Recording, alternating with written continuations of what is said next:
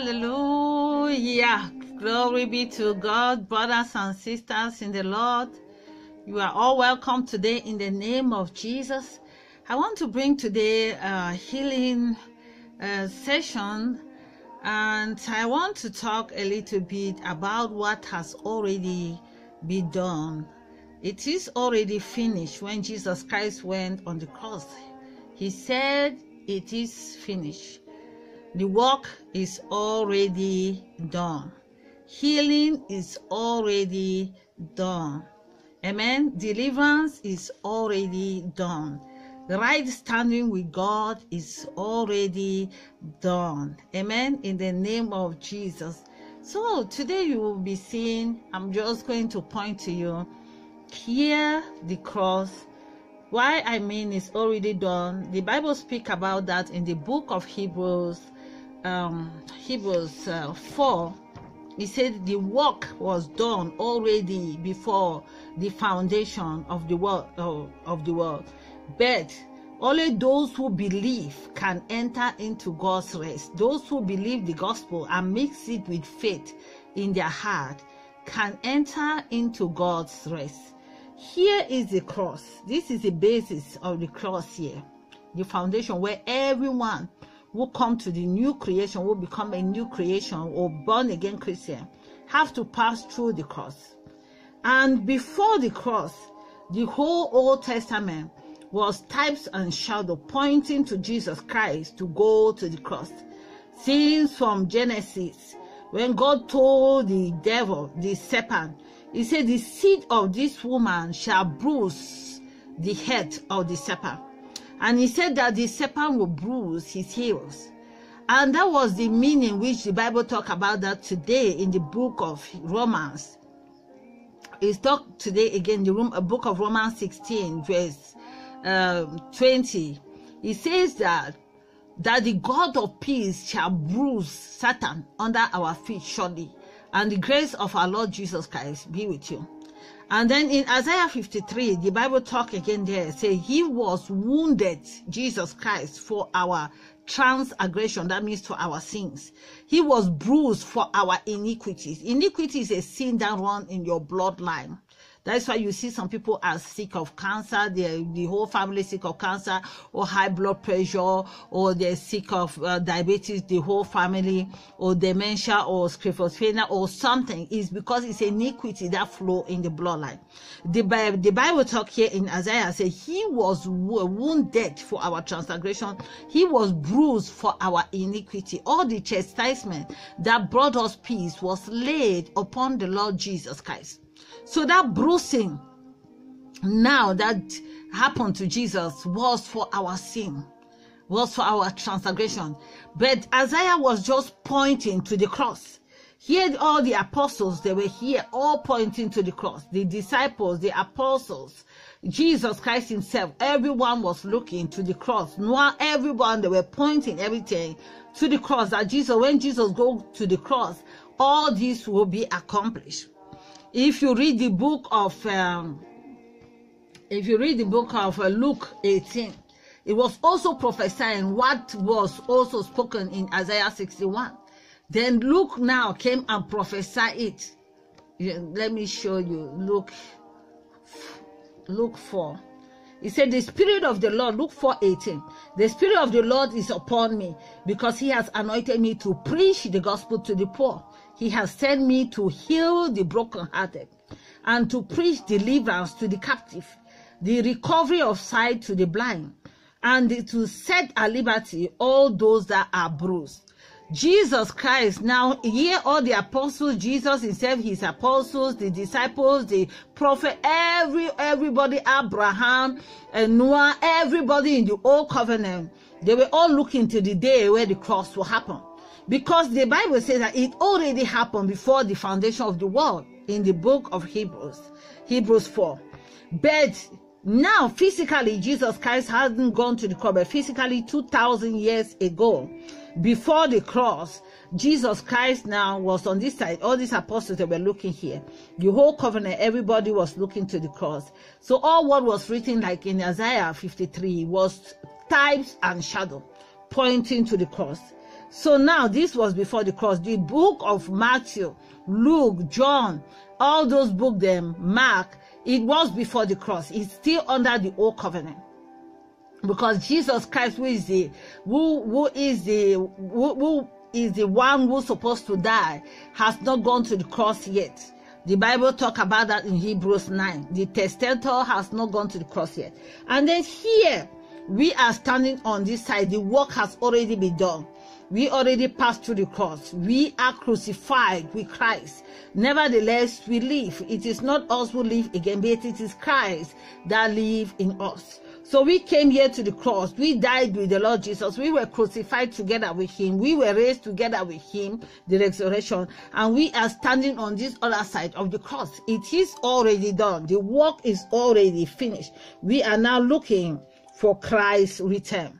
We are now looking for the rapture. So we set our eyes on things above, not on the things on this earth, because our citizenship is in heaven. Amen. Because now we died, our life is in Christ and Christ is in God. So now this is after the cross. We are all here on this side if you are born again Christian. Everyone who is a born again Christian is already here. So Second Peter said that he himself took our sin on his own body on the tree that we should be dead to sin and live unto righteousness. And by his wounds we were healed. We were already healed 2000 years ago. Jesus christ died 2000 years ago. So now when you come to christ you have to believe for all these things to be activated in your life. It is already done. The bible said that God was in Christ reconciling the world back to himself. When he went to the cross and died, Jesus Christ died for us. So the work has already been done. It is already done. It is finished. Jesus said it is finished. It was finished 2,000 years ago. It was in 2,000 years ago Jesus took all our sin on his own body because God does not live in time. So that is why it is already finished. So now it is you to activate it into your life. So we are on this side of the cross. Jesus was wounded for our transgression. He was bruised for our iniquity. The chastisement that brought us peace was laid upon him, all his past tense, and by his wounds we were healed. And if we were healed, we are healed today. So, Second Peter, Peter was prophesying the same scripture Word was written in Isaiah 53 even Matthew see quote the same scripture that Jesus Christ took himself took our infirmity and he bore our sicknesses. So that's why he was prophesying Isaiah 53. So because Isaiah 53 was pointing to the cross, what Jesus has done already on Calvary. It is already done. Healing has already be done. Healing is already done. By his wounds, we were healed. Deliverance has already taken place. He delivered us from the authority of darkness and translated us into the kingdom of his dear son, in whom we have redemption.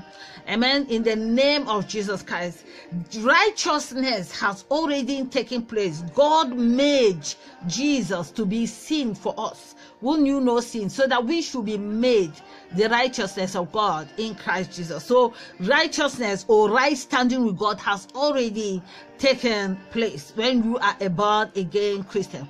The day you start to believe it, then you can enter into God's rest and then you can get your healing. All what is pertain to to godliness and life is already done on the cross of Calvary we are not standing on the side of, the, of this side of the cross again. We are not all covenant Christians. We are now the new creation. We are standing on the other side of this cross. The work is already finished here. This is where we stand. I see so many Christians who are born again Christians still standing on this side. Their identity is still in the old covenant and in the law. We are not under the law again. We are under God's grace and favor. We are not old covenant Christians. The cross has already taken place. Because if righteousness come by works, then Christ, Christ went to the cross and died in vain. But righteousness come by faith in Christ Jesus. Justification come by faith. The faith that we have, what we have finished already on Calvary. The work is, it is already done. Amen. In Jesus' name. It is not because you act right or it's not because you pray. It's not because you are fasting it is not because you relate to uh, you, you you you relate to a charity you have an organization they did something that is what will make you right stand that is that is why will give you healing. No. It is because you relate to the finished work of the cross. That is where you will receive your healing. Everything you will get from god you will get it through what jesus christ has done already. You will get healing because of what jesus has already done down if you believe what you mix your faith with what Jesus finished on Calvary. That is when God will give you the healing. It's not because of your good works. It's not because today you did something good and tomorrow you did not do something good. No, righteousness, you obtain it as a free gift. It is you didn't work for it. So you cannot lose your righteousness. You cannot lose your right standing except you go to save another God. Except you go back to your wallow or to your mud. You reject Jesus Christ. If not, it is already finished. Amen. In the name of Jesus Christ. The book of Galatians 2 was saying that that righteousness we should remember. Let me go to Galatians 2. Galatians 2 Galatians 2:16 says that knowing that a man is not justified by the works of the law, but by faith in Jesus Christ, even we have believed in Jesus Christ, that we might be justified by the faith of Christ, not by the works of the law. For by the works of the law shall no man be justified. And then you will see verse 20 say, I am crucified with Christ. Nevertheless, I live. It is not I that live, but Christ that live in me. The life I live now in the flesh, I live by the faith of the Son of God who loved me and he gave himself for me. So I do not frustrate the grace of God in my life. For if righteousness come by the law, then Christ died in vain. Amen. In the name of the Lord Jesus Christ. So a person is made right. It's not because of the work that you did, but it's because of the work of the cross not because of the works of the law. So, what did Jesus do? Jesus Christ went to the cross for us. Jesus died here on the cross for our sin. And the problem is sin. Satan will afflict you because of sin. So now, if you know that Jesus took your sin on his own body on the tree, this is a tree here, and died for your sin, and now then you and that you should live now unto righteousness because now you are the righteousness of god in christ Jesus. and he said by his stripes you were healed. So it was already done 2000 years ago. The work is finished. By his stripes you are healed. Amen. In the name of the lord jesus christ so jesus what that is what jesus did he he he did amazing work for us for sin he became sin for us who knew no sin. He did amazing work for us for healing. And the Bible says now he took our uh, all the stripes that was on his body was for our healing. He did amazing work for us for deliverance to deliver us from the hand of the devil, blotted out all the handwriting of ordinances that was against us, which was contrary to us. He took it out of our way, nailed it to his cross, having his arm, principality, and power, and deliver us from the hand of the devil. So the old man and also the that we used to cause us to, to sin. Jesus nailed that old man on the cross. Amen. In jesus name. And now our freedom from the cause of the law. Because the bible says sickness disease poverty all is a cause of the law. So christ came to redeem us from the cause of the law by becoming a cause for us. Cause is everyone who hang on the tree jesus hung on the tree so that the blessing of abraham shall might come unto us the Gentile through Jesus Christ, that we might receive the promise of the Spirit through faith. Amen. In the name of the Lord Jesus Christ. So now we are redeemed from the cause of the law. We are redeemed from the cause of sickness. We are redeemed from the cause of poverty, disease, infirmity. We are redeemed from all those causes. Now Jesus Christ brought us the blessing. The blessing and prosperity came through what Jesus did on Calvary. So by faith, you can have access because it is already done. Because It is it was done before the foundation of the world, and Jesus came now to manifest, now to destroy the works of the devil. The Bible said in the book of First uh, John, said that uh, since from the beginning Satan was sin, but Jesus Christ now came now to come to destroy the works of the devil. So the works of the devil were uh, Jesus Christ came now to destroy the works of the devil when he went to the cross of Calvary and died for us. So today you can enter God's rest by believing. Amen. And God will is able to do exceedingly uh, abundantly above all that we ask or think, according to his power that work in us, according to his Holy Spirit that live in us. Amen. In the name of the Lord Jesus Christ, according to that, uh, to the Bible, even talk about if the spirit of him that raised Christ from the dead dwells in you, he that raised Christ from the dead shall also quicken your mortal body. Amen. In Jesus' name. Let me read some few scriptures today to bring you your healing. Claim your healing today with faith as you hear this word of God and then take your healing. The book of Psalms uh, 41 3 say, I will strengthen you upon the bed of languishing. I will turn all your bed in sickness. Glory be to God. So you receive your healing today according to the word of God. The Bible says, I send my word and heal them, and I deliver them from their destruction. So as I send the word of God today for your healing, remember that it was it is already done. We are standing on this side of the cross, it is finished already. I am the health of your countenance and your God. Psalm 43, verse 5. No plague shall come near your dwelling. Psalm 91, 3. I will satisfy you with long life and show you my salvation. Psalm 91, 16. I healed all diseases. Psalm 103, verse 3. I sent my words and I healed you, and I deliver you from your destruction. Psalm 107, 20. You shall not die, but live and declare the works of the Lord. Say today with me, I shall not die. I shall live to declare the works of the Lord in the name of Jesus. That is Psalm 118, 17. I healed your broken heart and I bind up all your wounds. So that is for spiritual healing, for healing that you cannot see in your spirit man your broken heart, your soul, healing for your soul.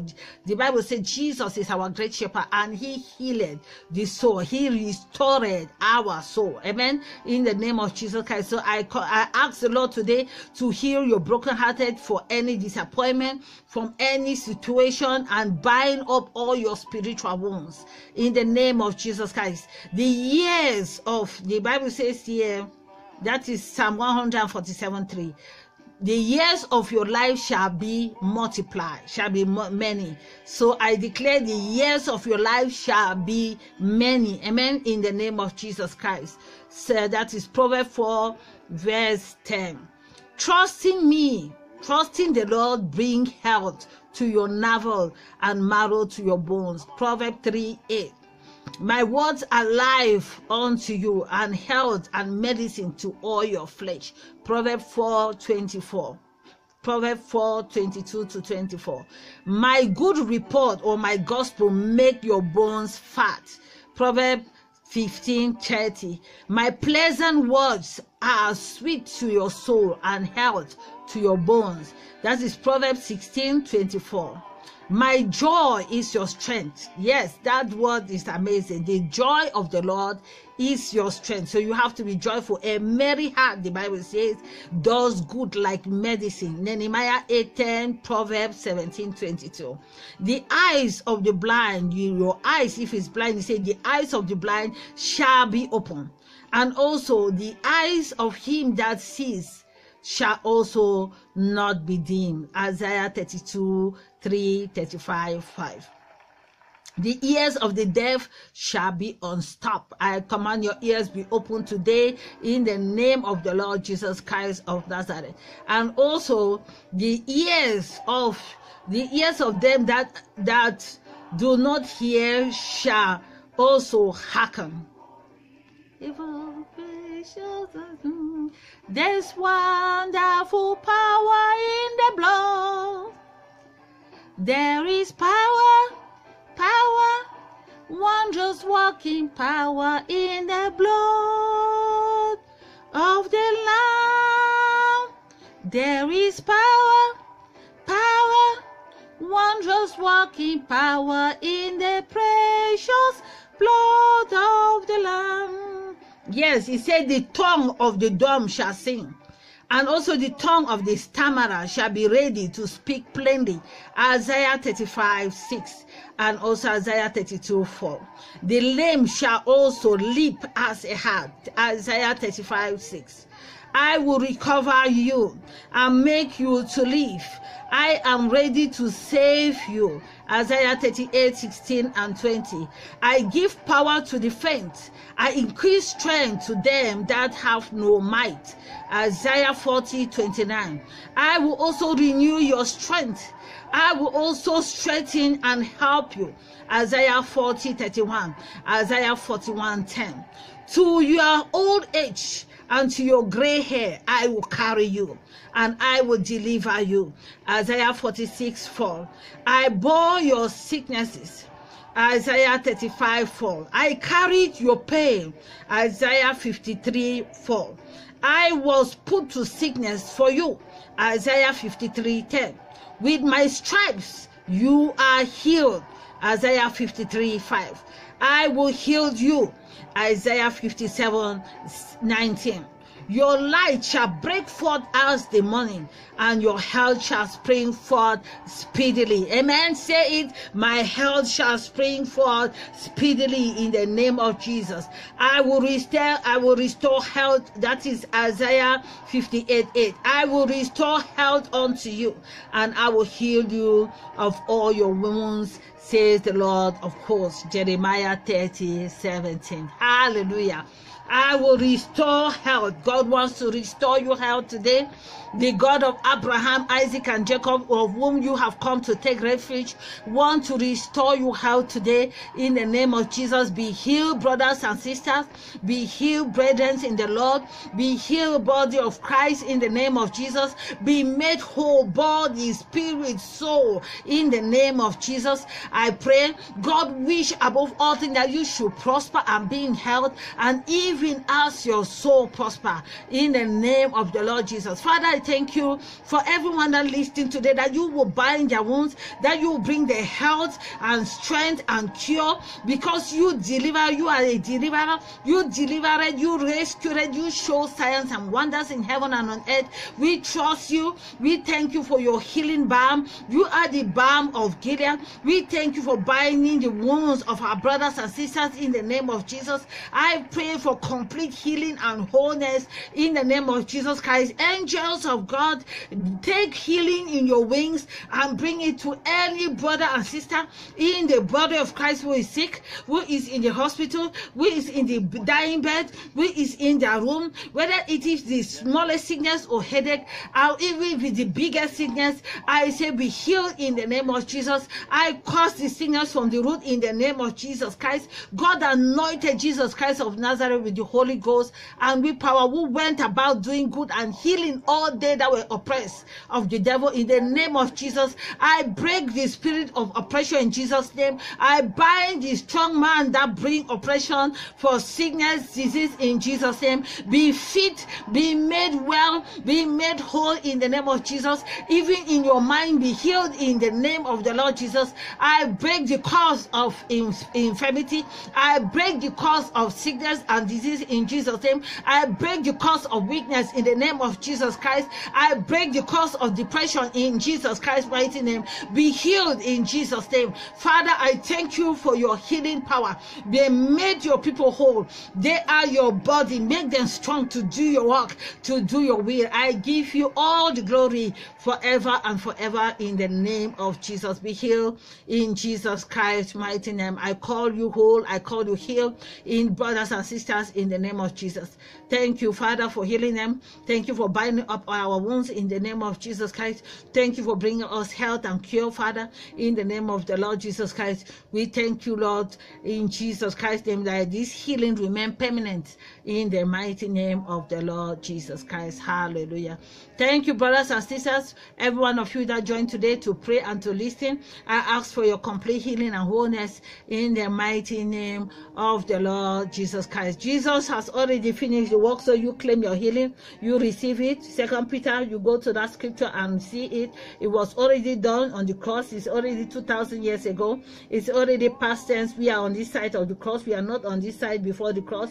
We are standing on this side. We are new covenant Christian, and by his stripes we were healed and by his wounds we are now here in Jesus' name. So take your healing and start to believe it and thank the Lord Jesus and say, Thank you, Lord. I'm here in Jesus' name. Don't complain anymore and just say, I'm here. I'm made whole in the name of Jesus from the crown of my head to the sole of my feet in Jesus' name. I am healed in the name of Jesus. The curse is broken for sickness, disease, infirmity, and weakness. You are healed in the name of the Lord Jesus Christ. God wants to make you whole. It is God's will that you are healed and made whole in the name of the Lord Jesus. I cover everyone with the blood of the Lord Jesus Christ today in the mighty name of Jesus Christ. Father, thank you and put the whole armor of God, brothers and sisters, in Jesus' name because the enemy is a thief. He comes to steal, kill, and destroy. He also steal the health, steal money from people who go to the hospital and sick and weak because he is a thief. So you can stop him today by believing the gospel and rebuke him in the name of Jesus Christ. Tell him he has no place.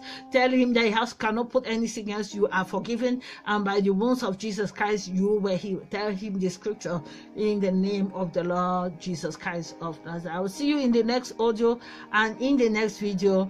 God bless every one of you. Shalom in Jesus' name. If you are new here, you need a prayer request, put it down in Jesus' name. If you are here from anything, leave your prayer request down, leave your testimony. God bless you in Jesus' name. If you are also new, subscribe down below in the name of Jesus Christ. Put thumbs up, share this uh, video. God bless you for that. You are subscribing for, to the Lord in Jesus' name. Just to contribute in this channel is just to subscribe, and God bless you for that in the mighty name of the Lord Jesus Christ. Shalom in Jesus' name. Thank you.